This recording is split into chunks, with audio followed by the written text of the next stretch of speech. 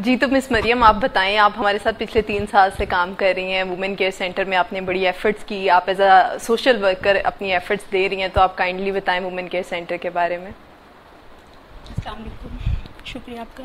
असल में जो ये नशा ना, मैं समझती हूँ कि ये वो दीवार है जहाँ पे हमारी नौजवान लड़कियाँ, जिनको मीडिया बहुत, जैसा मॉडल पेश करता है, वो उस तरह अपने आप को, घरों में उसको वो इजाज़त नहीं मिलती कि उस तरह अपने आप को प्रेजेंट कर सके। और फिर ये जो नशा है, वो उनको वो दीवार मिलती है जहाँ पर वो जाके अपना सर मारती हैं।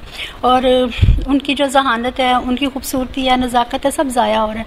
और हमारी यही कोशिश है कि इनकी जो खूबसूरती है, जहानत है, इन परियों को जो है ना, वो उड़ने ना दिया जाए। ख़राब ना होने दिया जाए।